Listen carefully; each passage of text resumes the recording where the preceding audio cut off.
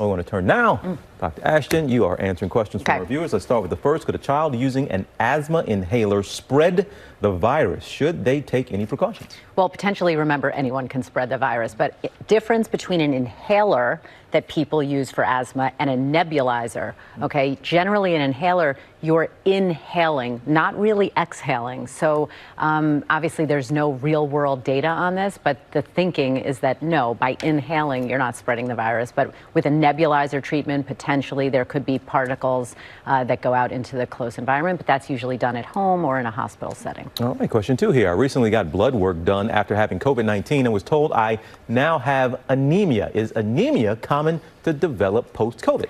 Short answer, we don't know. And the reason we don't know is because we would have to, in order to find the answer to that question, be testing people before they came down with COVID, right? And that would mean routine, you know, random testing of the general population. So we have no idea. A lot of people suffer from anemia and don't even know it. It depends upon the degree, the cause, um, but it is something that we are following in patients who have had COVID because we're seeing a lot of mysterious vascular effects of this virus. All right, Dr. Ashton, thank you. And folks, thank you for submitting your questions. Keep them coming to Dr. Jen on our Instagram at Dr. J. Ashton.